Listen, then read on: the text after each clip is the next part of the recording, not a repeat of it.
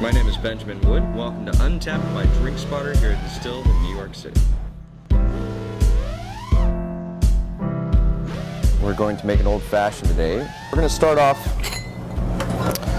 with a sugar cube. We'll make it very traditionally like times of old. We're going to add two dashes of traditional Angostura Trinidadian bitters. I'm going to add one dash of orange bitters. I like to use Regan's. You can use whatever your preference is. And then we're going to add a bar spoon of carbonic acid or soda water. It'll help break down our sugar cube.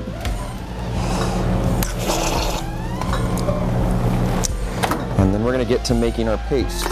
You just take your muddler, lean on the sugar cube, and then work it back and forth until you create a nice paste. Most bartenders that are worth their weight will tell you that the paste is the most important part of an old fashioned. This is where you get to put put the love into the cocktail. Now we're going to take Woodford Reserve bourbon, add two ounces.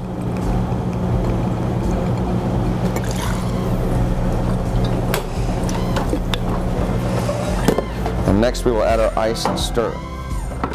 Important thing about ice is it should be thought of as an ingredient.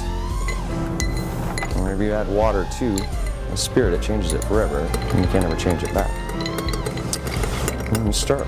With the old fashioned, it's designed, in my opinion, to be an evolutionary cocktail, so it's meant to be an experience that changes throughout the course of drinking it.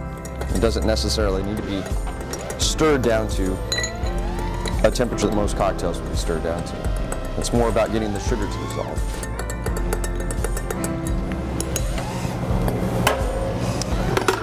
Very importantly, I'm going to add some of our essential oils from a lemon and orange. I like to use a Y peeler. Get a nice zest there. It's full of aromatics, flavor, and alcohol, oddly enough. Skin side down we'll express the oils over the drink. And leave our twist in.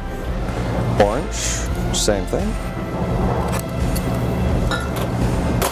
Express the oils. And there you have